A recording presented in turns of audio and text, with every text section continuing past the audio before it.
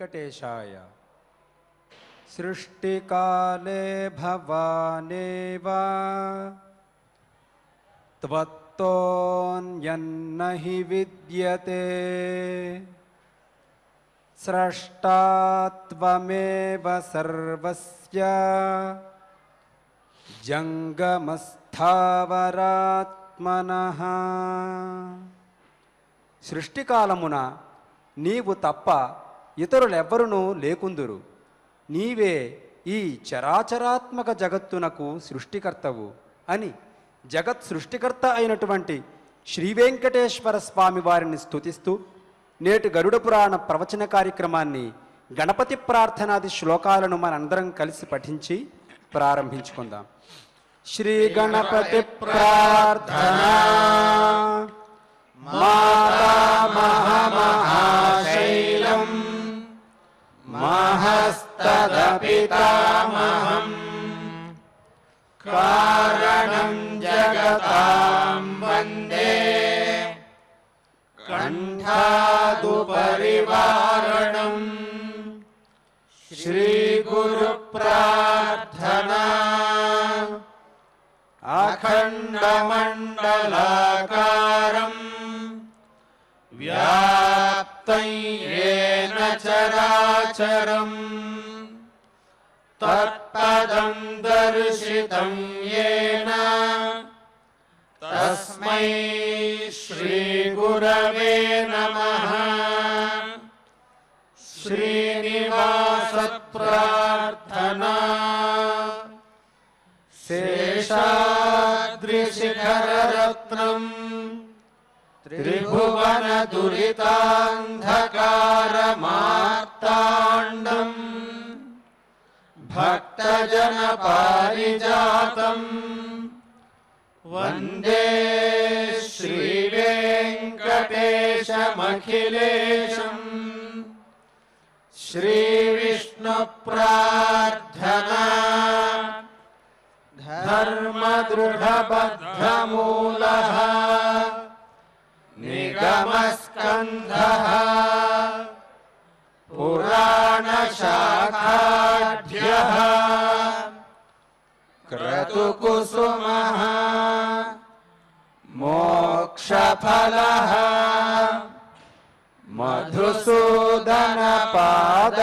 मधुसूदनपादपूजयति ఓం నమో వెంకటేశాయ ఏడుకొండలవాడ వెంకటరమణ గోవింద గోవింద శ్రీ శ్రీనివాస శ్రీ వెంకటేశ గోవింద గోవింద.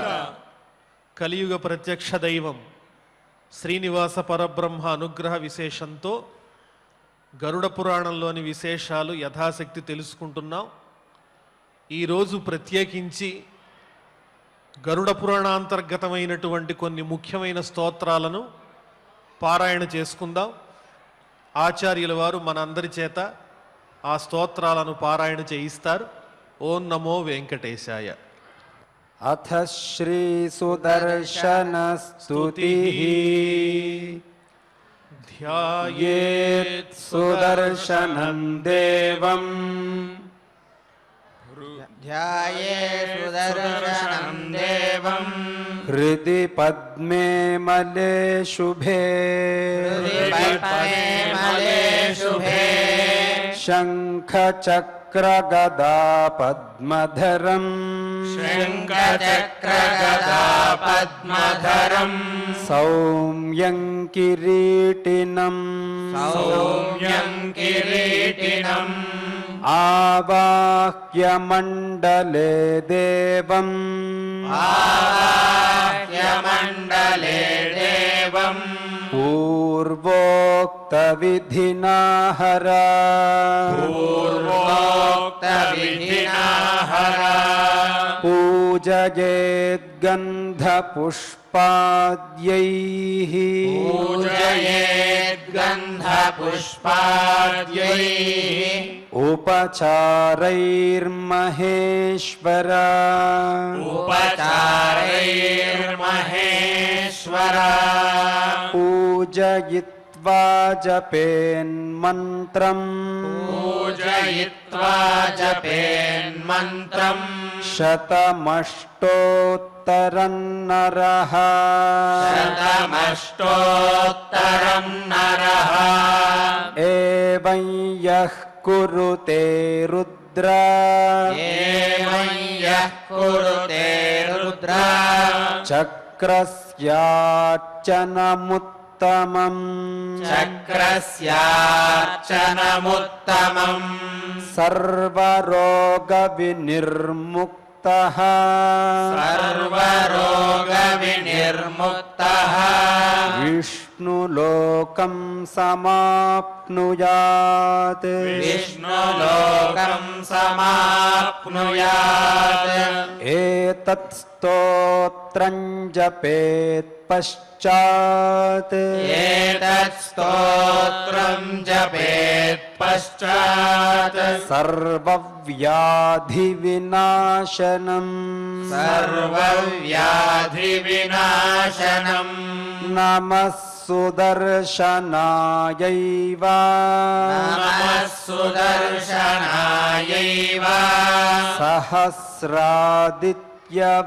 सहस्रादित्यवर्चसे सहस्रादित्यवर्चसे।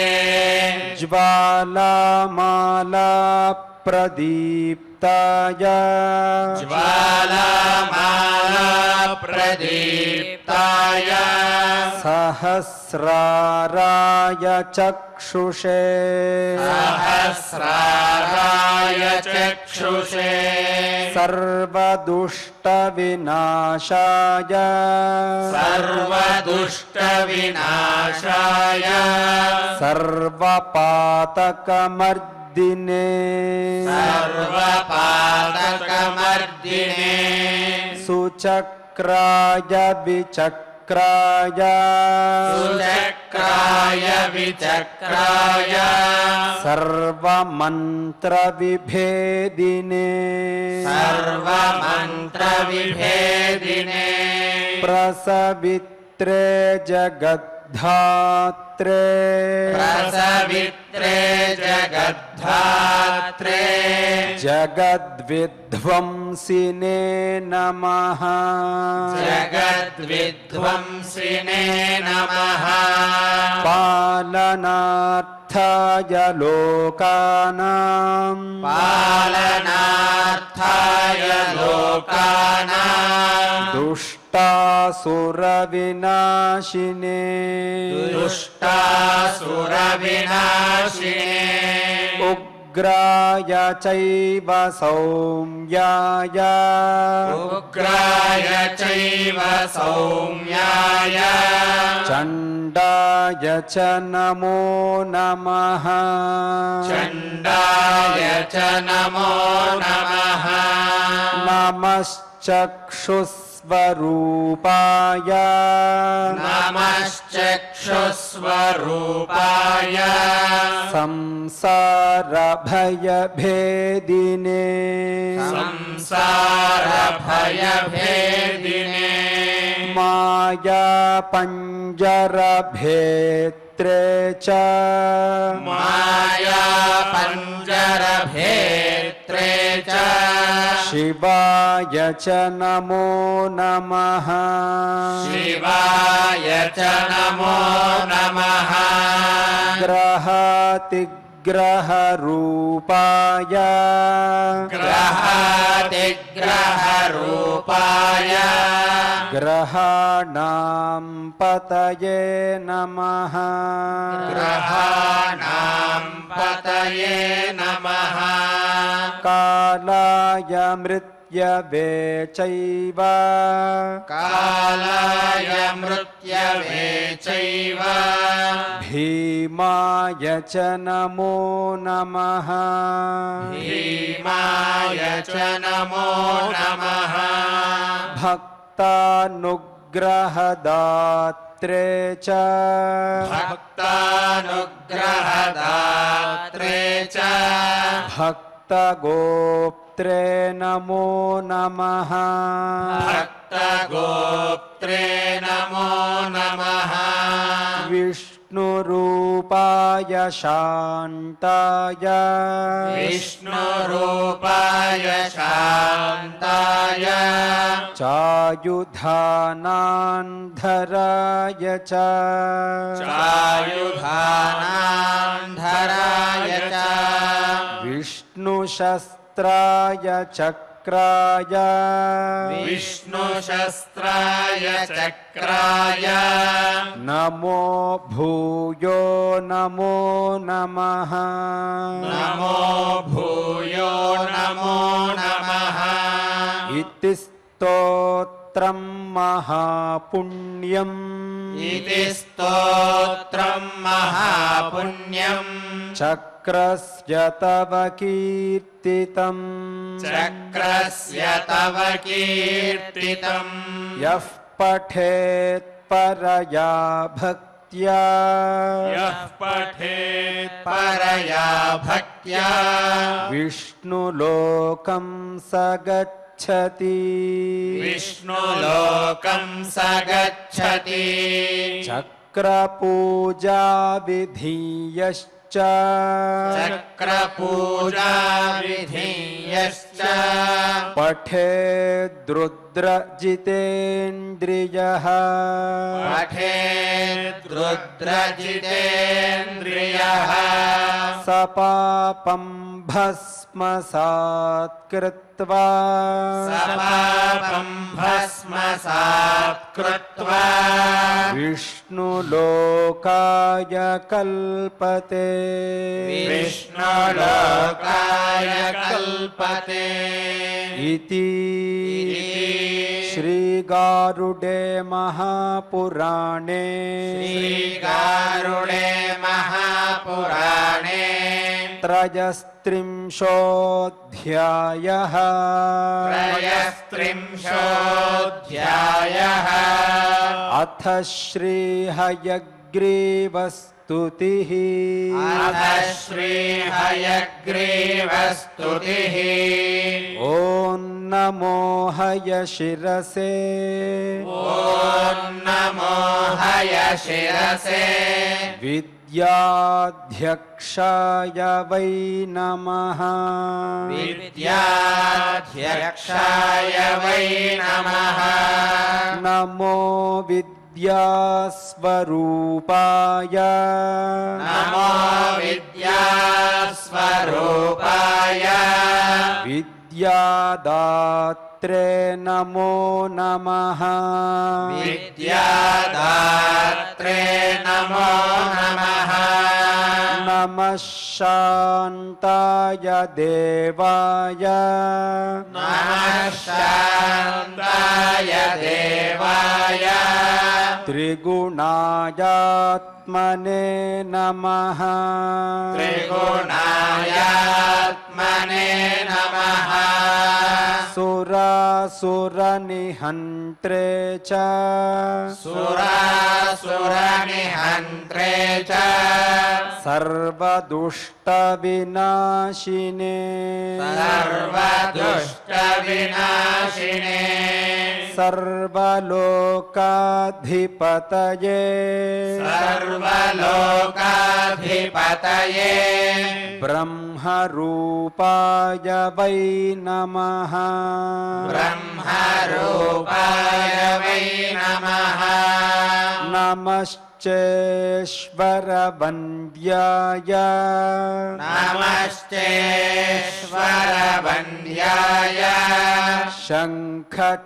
शङ्खचक्रधराय च। शङ्खचक्रधराय च। नम आद्याय दान्ताय। नम आद्याय दान्ताय सर्वसत्त्वहिताय च। सर्वसत्त्वहिताय च। त्रिगुणाय गुणायैव। त्रिगुणाय गुणायैव। ब्रह्म विष्णुस्वरूपिणे। ब्रह्म विष्णुस्वरूपिणे। कर्त्रे हर्त्रे कर्त्रे सुरेशाय। कर्त्रे हर्त्रे सुरेशाय। सर्वगाय नमो। नमः सर्वगाय नमो नमः अथ श्रीवासुदेवस्तुतिः। अथ श्रीवासुदेवस्तुतिः। ॐ नमो वासुदेवाय। ॐ नमो वासुदेवाय। नमः सङ्कर्षणाय च। नमः सङ्कर्षणाय च। प्रद्युम्नायादिदेवाय। प्रद्युम्नायादिदेवाय। अनिरुद्धाय नमो नमः नमो नमः। नमो नारायणायैव। नमो नारायणायैव। नराणां पतये नमः। नराणां पतये नमः। नरपूज्याय कीर्त्याय। नरपूज्याय कीर्त्याय। स्तुत्याय वरदाय च। स्तुत्याय वरदाय च अनादिनिधनायैव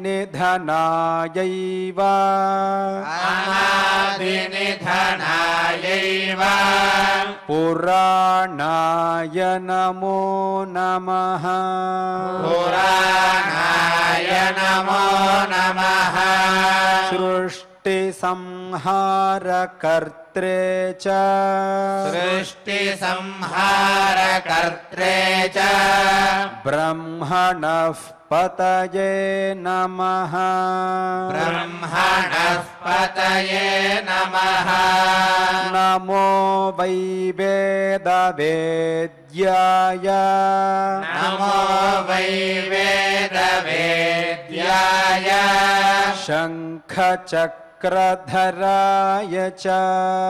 शङ्खचक्रधराय च। कलिकल्मषनाशाय। कलिकल्मषनाशाय। सुरेशाय नमो नमः। सुरेशाय नमो नमः संसारवृक्षच्छेत्रे च। संसारवृक्षक्षेत्रे च। मायाभेत्रे नमो नमः। मायाभेत्रे नमो नमः।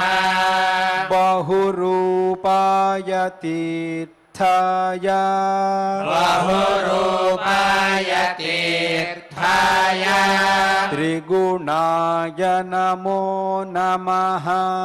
त्रिगुणाय नमो नमः। ब्रह्म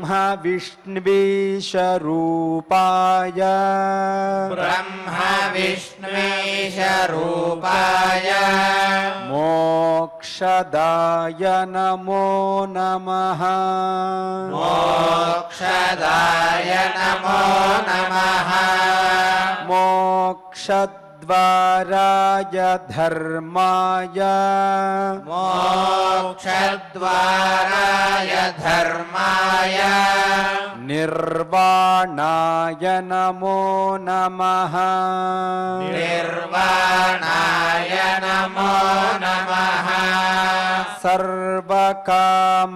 सर्वकामप्रदायैव सर्वकामप्रदायैव। परब्रह्मस्वरूपिणे। परब्रह्मस्वरूपिणे। संसारसागरे घोरे। संसारसागरे घोरे। निमग्नं मां समुद् समुद्धर निमग्नम् मां समुद्धर। त्वदन्यो नास्ति देवेश। त्वदन्यो नास्ति देवेश। नास्ति त्राता जगत्प्रभो। नास्ति त्राता जगत्प्रभो। त्वामेव सर्वगं विष्णुम्। त्वामेव सर्वगं विष्णुम्। गतोऽहं शरणं ततः। गतोऽहं शरणं ततः ज्ञानदीपप्रदानेन ज्ञानदीपप्रदानेन। तमो मुक्तं प्रकाशय। तमो मुक्तं प्रकाशय।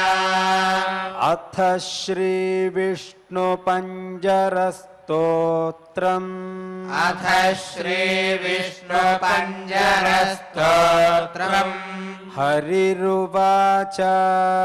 हरिरुवाच। प्रवक्ष्यां यधुना ह्येतत्। प्रवक्ष्याम्यधुना हेतत् वैष्णवं पञ्जरं शुभम्। वैष्णवं पञ्जरं शुभम्। नमो नमस्ते गोविन्द।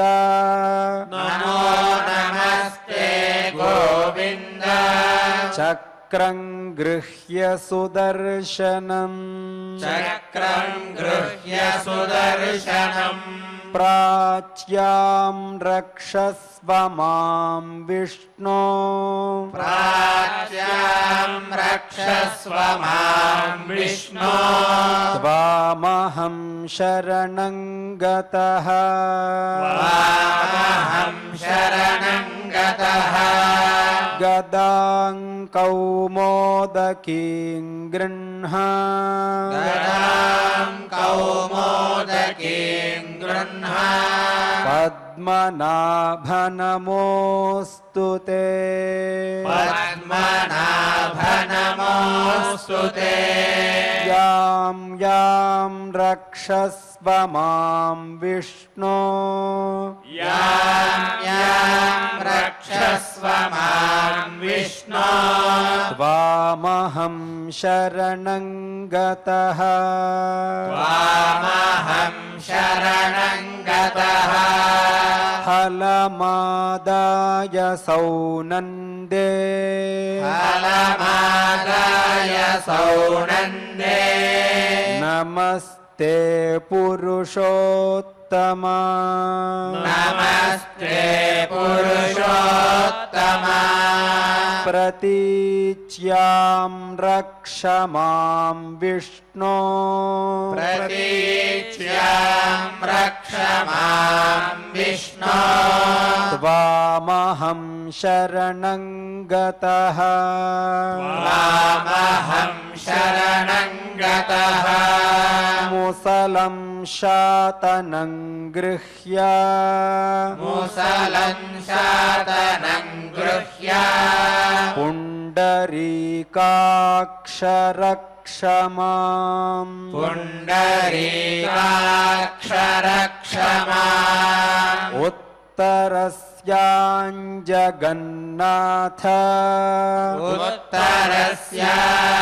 जगन्नाथ भवन्तं शरणं गतः। भवन्तं शरणं गतः। खड्गमादाय चर्माथ। खड्गमादाय चर्माथ अस्त्रशस्त्रादिकं हरे। अस्त्रशस्त्रादिकं हरे। नमस्ते नमस्ते रक्ष रक्षोघ्न। नमस्ते रक्ष रक्षोघ्न। ऐशान्यां शरणं गतः। ऐशान्यां शरणं गतः। पाञ्चजन्यं महाशङ्खम्। पाञ्चजन्यं महाशङ्खम् अनुद्बोधं च पङ्कजम् अनुद्बोधं च पङ्कजम् प्रगृह्य रक्ष मां विष्णो। प्रगृह्य रक्ष मां विष्णो। आग्नेय्यां रक्ष शूकरा। आग्नेयां रक्षसूकरा। चन्द्रसूर्यं समागृह्य। चन्द्रसूर्यं समागृह्य। खड्गं चान्द्रमसं तथा खड्गं चान्द्रमसं नैऋत्यां मां च रक्षस्व मां च रक्षस्व दिव्यमूर्ते नृकेसरिन् दिव्यमूर्ते नृकेसरिन् वैजयन्तीं सम्प्रगृह्य। वैजयन्तीं सम्प्रगृह्य। श्रीवत्सङ्कण्ठभूषणम्। श्रीवत्सं कण्ठभूषणम् वायव्यां रक्षमान् देवा। वायव्यां रक्षमान् देव। हयग्रीव नमोऽस्तु ते। हयग्रीव नमोऽस्तु ते। वैनतेयं समारुह्य। वैनतेयं समारुह्य। त्वन्तरिक्षे जनार्दन त्वन्तरिक्षे जनार्दन। मां च रक्षाजित सदा मां च रक्षाजित सदा नमस्ते स्त्वपराजिता नमस्ते स्वपराजिता विशालाक्षं समारुह्य विशालाक्षं समारुह्य रक्षमां त्वं रसातले। रक्ष मां त्वं रसातले। अकूपारनमस्तुभ्यम्। अकूपारणमस्तुभ्यम् महामीन नमोऽस्तु ते। महामीन नमोऽस्तु ते। करशीर्षाद्यङ्गुलेषु। करशीर्षाद्यङ्गुलेषु। सत्यत्वं बाहुपञ्जरम्। सत्यत्वं बाहुपञ्जरम् कृत्वा रक्षस्व मां विष्णो। कृत्वा रक्षस्व मां विष्णो। नमस्ते पुरुषोत्तमा। नमस्ते पुरुषोत्तमा। एवमुक्तं शङ्कराय। एवमुक्तं शङ्कराय। वैष्णवं पञ्जरं महत्। वैष्णवं पञ्जरं महत्। पुरा रक्षार्थमीशान्याः। पुरा रक्षार्थमीशान्याः। कात्यायन्या वृषध्वज कात्यायन्या वृषध्वजा नाशयामास सायेन नाशयामास सायेन चामरं महिषासुरम्। चामरं महिषासुरम्। दानवं रक्तबीजं च दानवं रक्तबीजम् च अन्यांश्च सुरकण्टकान्। अन्यांश्च सुरकण्टकान्। एतज्जपन्नरो भक्त्या। एतज्जपन्नरो भक्त्या शत्रून् विजयते सदा। शत्रून् विजयते सदा। इति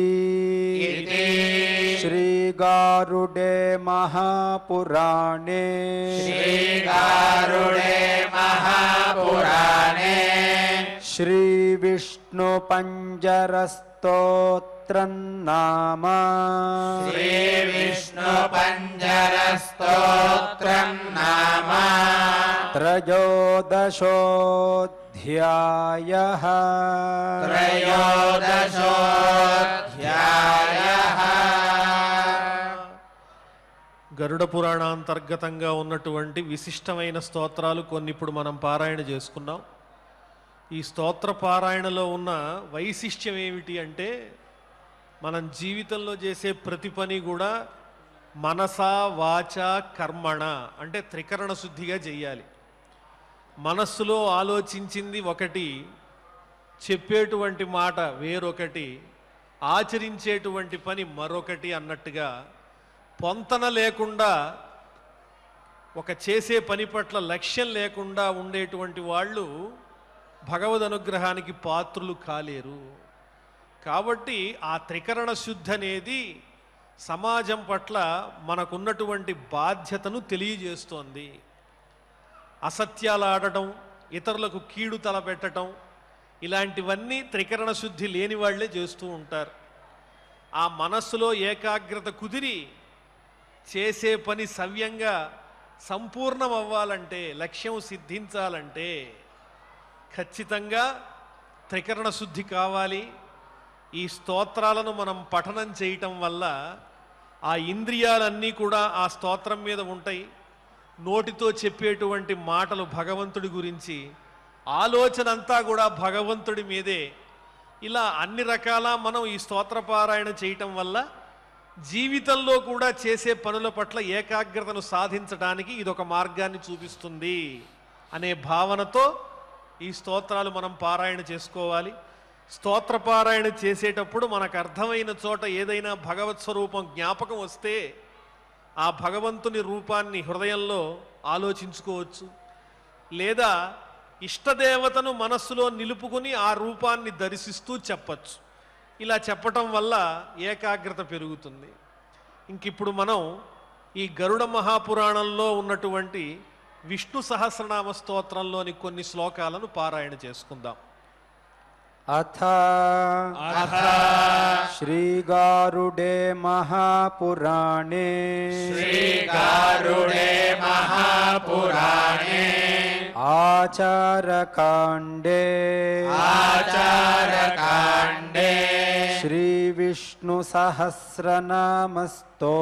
श्रीविष्णुसहस्रनामस्तोत्र श्रीविष्णुसहस्रनामस्तोत्र। निरूपणं नाम। निरूपणं नाम। पञ्चदशोऽध्यायः। पञ्चदशोऽध्यायः देहात्मा चेन्द्रियात्मा च। देहात्मा चेन्द्रियात्मा च। आत्मा बुद्धिस्तथैव च। आत्मा बुद्धिस्तथैव च। मनसश्च तथैवात्मा। मनसश्च तथैवात्मा। चात्माहङ्कारचेतसः। चात्माहङ्कार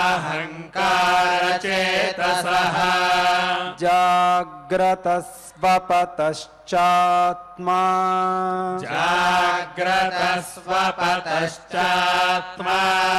महदात्मा परस्तथा महदात्मा परस्तथा प्रधानस्य परात्मा च।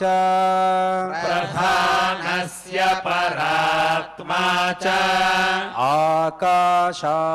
आकाशात्मा ह्यपान्तथा आकाशात्मा ह्यपान्तथा पृथिव्याः परमात्मा च।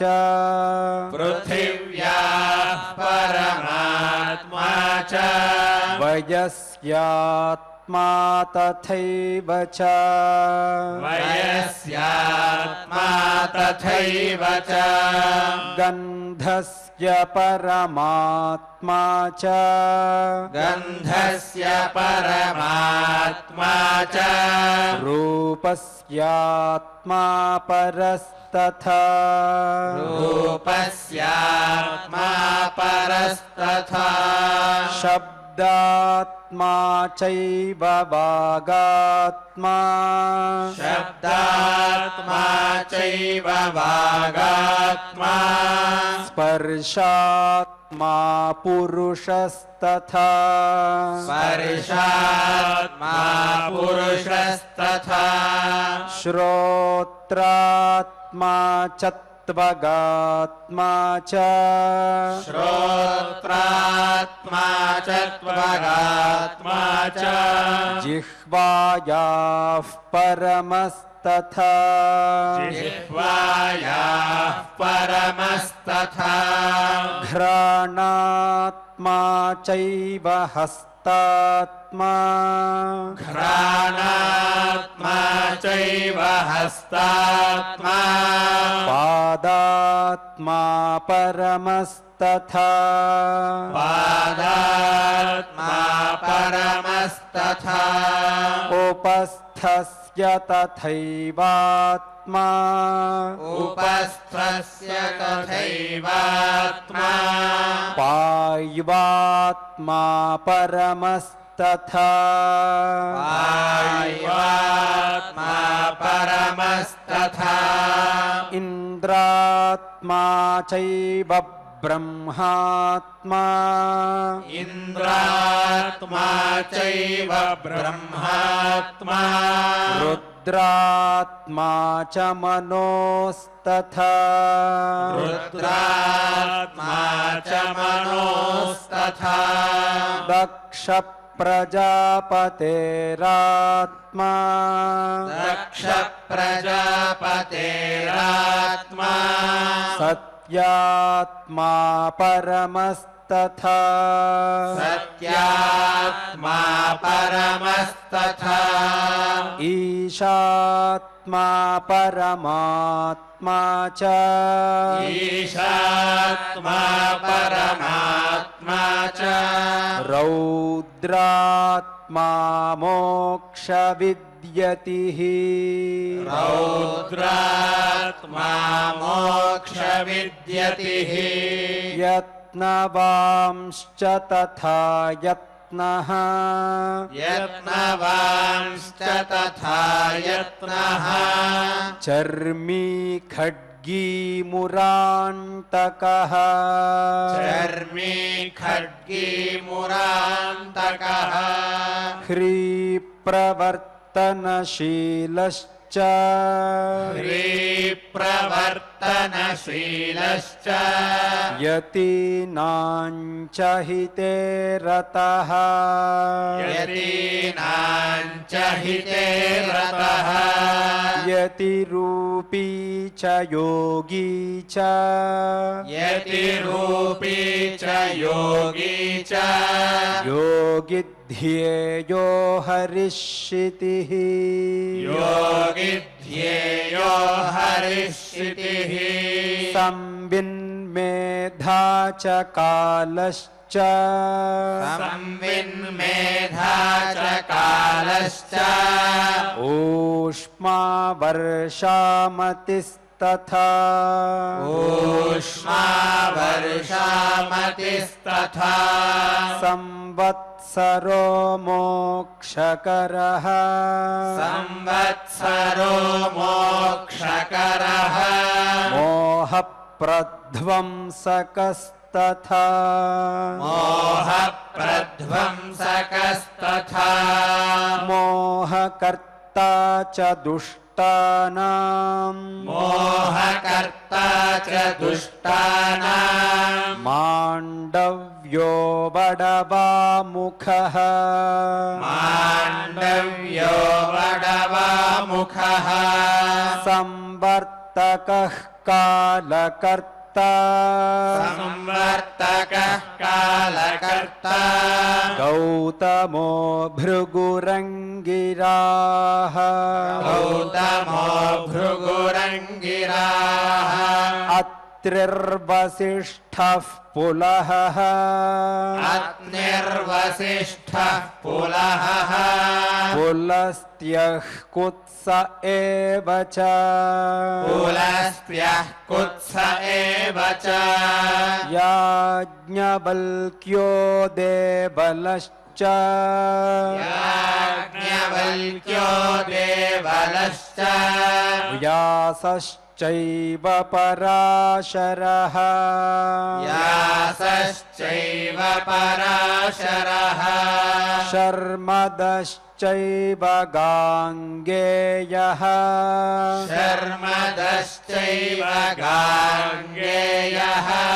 ऋषिकेशो बृहच्छ्रवाः ऋषिकेशो बृहच्छ्रवाः केशवः क्लेशहन्ता च। केशवः क्लेशहन्ता च। सुकर्णः कर्णवर्जितः। सुकर्णः कर्णवर्जितः। नारायणो महाभागः। नारायणो महाभागः। प्राणस्य पतिरेव च। प्राणस्य पतिरेव च। अपानस्य पतिश्चैव अपानस्य पतिश्चैव। व्यानस्य पतिरेव च। यानस्य पतिरेव च। उदानस्य पतिश्रेष्ठः। उदानस्य पतिश्रेष्ठः। समानस्य तथा। समानस्य पतिस्तथा। शब्द शब्दस्य च पतिश्रेष्ठः। शब्दस्य च पतिश्रेष्ठः। स्पर्शस्य पतिरेव च। स्पर्शस्य पतिरेव च। रूपाणां नृपतिश्चाद्यः। रूपाणां नृपतिश्चाद्यः। खड्गपाणिर्हलायुधः। खड्गपाणिर्हलायुधः। चक्रपाणिः कुण्डली च। चक्रपाणिः कुण्डली च। श्रीवत्साङ्कस्तथैव च। श्रीवत्साङ्कस्तथैव च। प्रकृतिः कौस्तुभग्रीवः प्रकृतिः कौस्तुभग्रीवः। पीताम्बरधरस्तथा। पीताम्बरधरस्तथा। सुमुखो दुर्मुखश्चैव सुमुखो दुर्मुखश्चैव। मुखेन तु विवर्जितः। मुखेन तु विवर्जितः। अनन्तोऽनन्तरूपश्च। अनन्तोऽनन्तरूपश्च। सुनखः सुरसुन्दरः।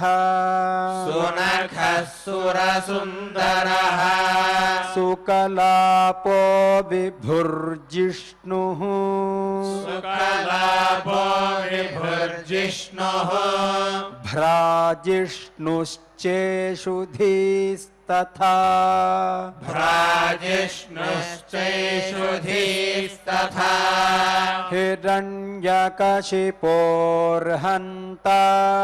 हिरण्यकशिपोर्हन्ता। हिरण्यकशिपोर्हन्ता हिरण्याक्षविमर्दकः हिरण्याक्षविमर्दकः। निहन्ता पूतनायाश्च निहन्ता पूतनायाश्च भास्करान्तविनाशनः। भास्करान्तविनाशनः। केशिनोदलनश्चैव। केशिनोदलनश्चैव। मुष्टिकस्य विमर्दकः। मुष्टिकस्य विमर्दकः। तं सदा न च कं सदा नवभेत्ता च। चाणूरस्य प्रमर्दकः। चाणूरस्य प्रमर्दकः। अरिष्टस्य निहन्ता च। अरिष्टस्य निहन्ता च अक्रूरप्रिय एव च। अक्रूरप्रिय एव च। अक्रूरः क्रूररूपश्च। अक्रूरः क्रूररूपश्च यक्रूरप्रियवन्दितः यक्रूरप्रियवन्दितः। इति श्रीगारुडे महापुराणे। श्रीगारुडे महापुराणे। आचारकाण्डे। आचारकाण्डे श्रीविष्णुसहस्रनामस्तोत्र श्रीविष्णुसहस्रनामस्तोत्र निरूपणं नाम निरूपणं नाम पञ्चदशोऽध्यायः पञ्चदशोऽध्यायः ఈ విష్ణు సహస్రనామ స్తోత్రంలో పరమాత్మ యొక్క రూపాలు వర్ణింపబడ్డాయి సహస్రనామం అంటేనే విభిన్నమైనటువంటి పరమాత్మ స్వరూపాలు అని అర్థం. ఈ లోకంలో విశ్వంలో ఉన్నవన్నీ పరమాత్మ స్వరూపాలే అని చెప్పడమే సారాంశం. సరే అదే సారాంశం అయినప్పుడు దేవుడు అంతా ఉన్నాడు ఒక్కడే ఉన్నాడు దేవుడు కాంది ఏదీ లేదు అని రెండు ముక్కల్లో చెబితే చాలు కదా. ఇంత స్తోత్రం ఎందుకు అని అనుమానం వస్తుంది. మనకి అంత చక్కటి పరిణతి కలగాలి అంటే ఎంత జ్ఞానం కావాలి ఎంత సిద్ధి కావాలి? ఒక క్షణం పురాణ శ్రవణం విన్నప్పుడు మంచిగా ఉండాలి అనే ఆలోచన కలుగుతుంది. అది దాటి బయటికి వెళ్ళిన తర్వాత కాసేపటికి అది మర్చిపోతాం. పురాణం అనే కాదు ఒక దుఃఖమైనా సుఖమైనా కొంతకాలం మనం అనుసరించి ఉంటుంది తర్వాత వేరొక దాంట్లోకి మనం ప్రవేశిస్తాం. అంతా దేవుడున్నాడు అనేటువంటి జ్ఞానం ఆ క్షణం ఉంటుంది. మరో క్షణంలో పక్క వాళ్ళని చూడంగానే వాళ్ళు వేరు మనం వేరు అనే ఆలోచన కలుగుతుంది. కాబట్టి ఒకటికి రెండింతలుగా మనలో ఆ జ్ఞానం కలగడానికే ఒక ముఖం కలిగినవాడు రెండు ముఖాలు కలిగినవాడు క్రూరమైనటువంటి స్వర స్వభావం కలిగినవాడు ఎప్పుడూ దుష్టుల్ని సంహరించేటప్పుడు. అలాగే సత్వస్వరూపమైన వాడు భయంకరమైన ఆయుధాలు ధరించిన వాడు లేదా ప్రియమైన రూపం కలిగినటువంటి వాడు ఇలా ఈ సృష్టిలో పరమాత్మ ఎన్ని రకాలుగా వ్యాపించి ఉన్నాడో అవన్నీ కూడా చెబితే ఆ స్తోత్రం చదివేటప్పుడు ఓహో ఈ రూపాలన్నీ కూడా ఒకే దేవత అయి ఉన్నాడు అని ఒకటికి రెండింతలుగా మనం మననం చేసుకోవడానికి అవకాశం ఉంది. ఇప్పుడు నమక చమకాదులలో కానీ పురుష సూక్తాదులలో కానీ వర్ణింపబడిన విషయాలు ఏమిటి అంటే రుద్రుని స్వరూపం ఎలా ఉన్నది అంటే కోప స్వభావం కలిగిన వాడా నీ కోపానికి నమస్కారము నీ చేతిలో ఉన్న ఆయుధానికి నమస్కారము ఇలా పరమేశ్వరుని గురించి వర్ణిస్తూ అందులోనే ఈ సృష్టిలో విషయాలన్నీ కూడా వర్ణించి చెప్పారు. అలాగే సహస్రమైనటువంటి బాహువులు కలిగినవాడా నేత్రములు కలిగినవాడా పాదములు కలిగినవాడా అంటే ఏమిటి పాదాలు నేత్రాలు ఇవన్నీ అంటే సృష్టిలో ఉన్న వివిధమైనటువంటి స్వరూపాలే ఒకే ఒక పరమాత్మ స్వరూపము అని మనకి విలక్షణంగా అర్థం కావటానికి మహర్షులు చేసినటువంటి ప్రయాస. అది అవగాహన చేసుకుంటూ మనం ఈ స్తోత్ర పారాయణాదులు చేసుకోవాలి. ఇప్పుడు చక్కగా కర్తవ్యాన్ని ఉపదేశించేటువంటి భగవద్గీతను ఈనాడు కూడా పారాయణ చేసుకుందాం. అందరం కలిసి శ్రీ గీతా స్తుతి ఆపదం నరకం ఘోరం గీతాధ్యాయీన పశ్యతి नित्यम् धारयते यस्तु। समोक्षमधिगच्छति। श्रीगीता प्रार्थना। सर्वोपनिषदो गावः दोग्धा गोपालनन्द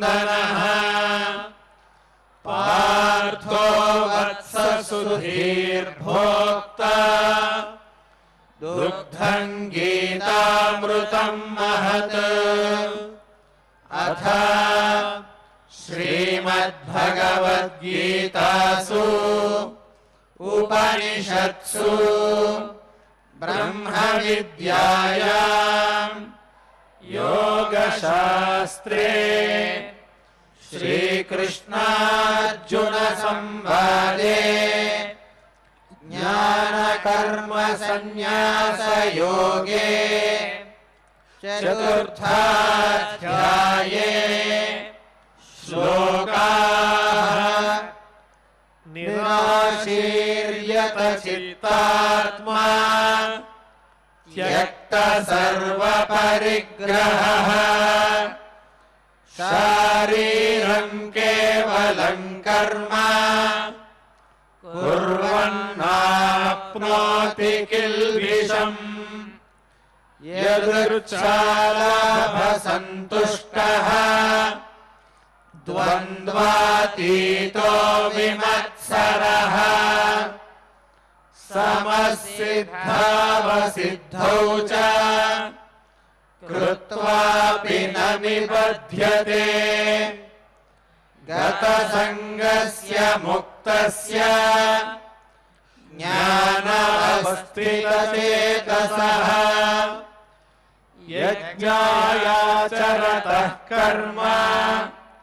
समग्रम् प्रविलीयते। ब्रह्मार्पणम् ब्रह्महविः। ब्रह्माग्नौ ब्रह्मणाहुतम्। ब्रह्मैव तेन गन्तव्यम्। ब्रह्मकर्म समाधिना दैवमेवापरे यज्ञम्। योगिनः पर्युपासते। ब्रह्माज्ञावपरे यज्ञम्। यज्ञेनैवोपजुह्वति। श्रोत्रादीनीन्द्रियाण्यन्ये संयमाग्निषु जुह्वति। शब्दादीन् विषयानन्ये इन्द्रियाग्निषु जुह्वति। सर्वाणीन्द्रियकर्माणि प्राणकर्माणि चापरे आत्मसंयमयोगाग्नौ जुह्वति ज्ञानदीपिके। द्रव्ययज्ञास्तपो यज्ञाः। योगयज्ञास्तथा परे स्वाध्यायज्ञानयज्ञाश्च यतयः संशितव्रताः। अपाने जुह्वति प्राणम्। प्राणे पाणम् तथा परे प्राणापानगतिरुद्ध्वा प्राणायामपरायणाः।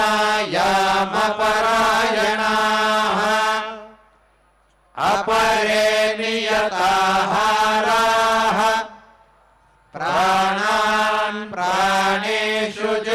जुह्वति सर्वेऽप्येते यज्ञविदः।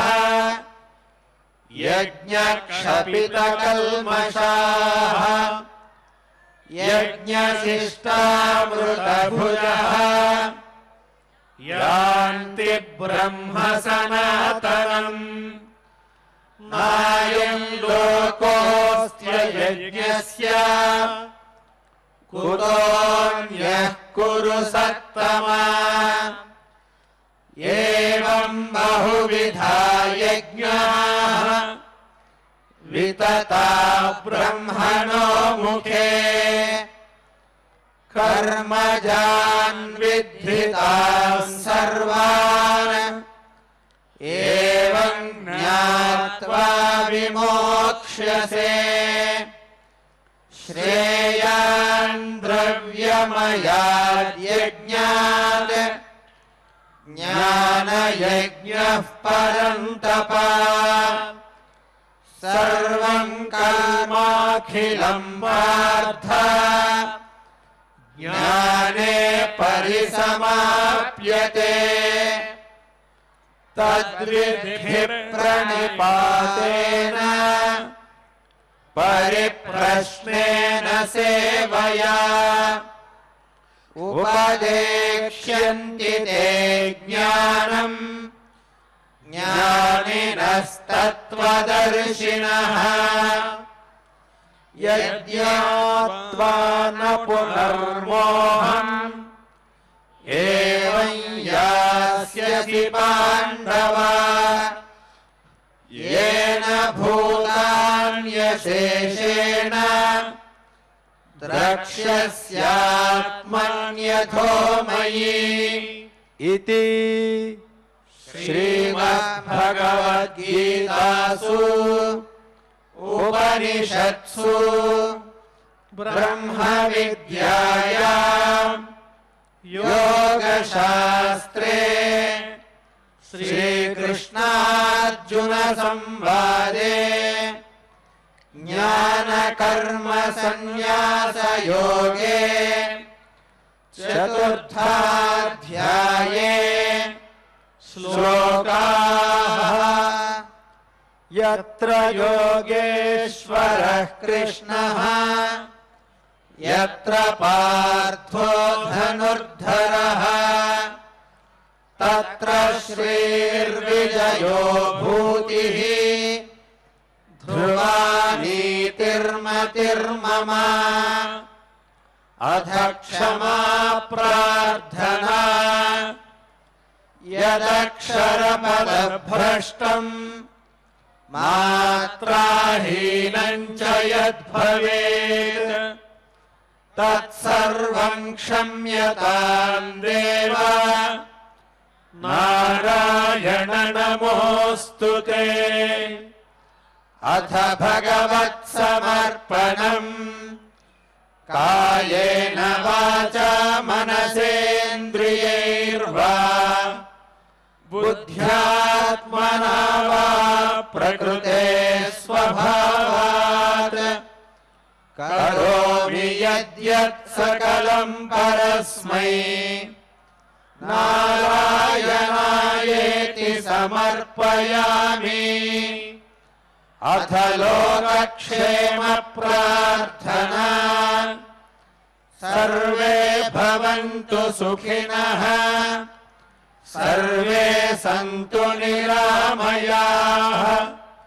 सर्वे भद्राणि पश्यन्तु मा कश्चित् दुःखभाग् भवेत् अथ मङ्गलम्। श्रियः कान्ताय कल्याणनिधये निधयेऽर्थिनाम् श्रीवेङ्कटनिवासाय श्रीनिवासाय मङ्गलम्